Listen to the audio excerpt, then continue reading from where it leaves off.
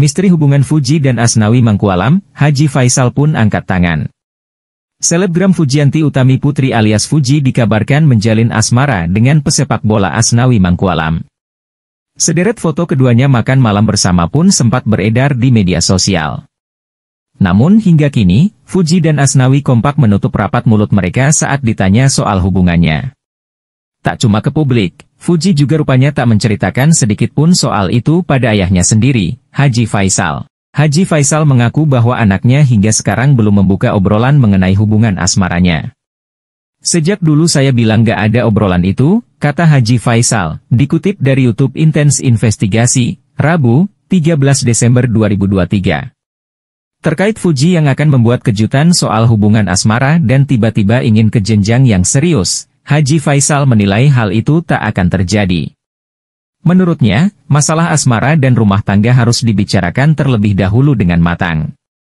Hal-hal seperti itu dibuat surprise nggak mungkin. Itu harus pembicaraan panjang lebar, ujarnya. Tapi nggak tahu kalau anak di zaman sekarang, tapi kalau saya dahulu untuk berumah tangga pikirnya itu harus panjang makan waktu, katanya. Selain dirumorkan dekat dengan Asnawi, rupanya Fuji juga sempat dijodoh-jodohkan dengan artis Haris Firza. Menanggapi hal itu, Faji Faisal mengatakan bahwa dirinya sejauh ini juga belum mengenal sosok pria yang dikabarkan dekat dengan Fuji. Dikatakan Haji Faisal, ia hingga kini mengetahui anaknya tersebut masih single dan belum menjelaskan soal hubungan asmaranya. Saya nggak ada yang kenal dengan orang-orang tersebut, nggak ada saya kenal sama orang-orang itu. Saya menganggap anak saya sejauh ini masih single, belum ada laporan, jelasnya. Ayah Fuji, Haji Faisal memberikan bantahan atas isu yang menyebutkan anaknya memiliki sikap temperamental. Isu tersebut mulai muncul usai isi chat Fuji yang memarahi mantan karyawannya tersebar di media sosial. Dalam chat tersebut, tampak Fuji melontarkan sejumlah kata kasar kepada sang mantan karyawan, HETJ.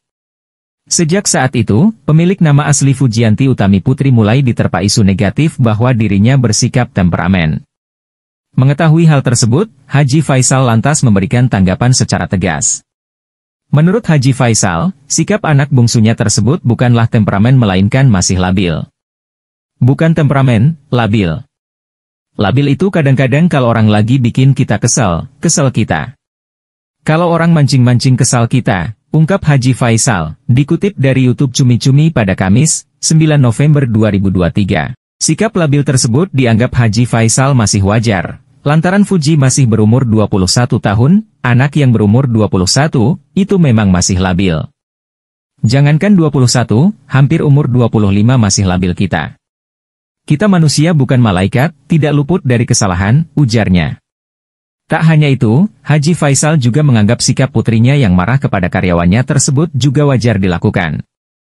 Dirinya mengungkapkan bahwa masalah tersebut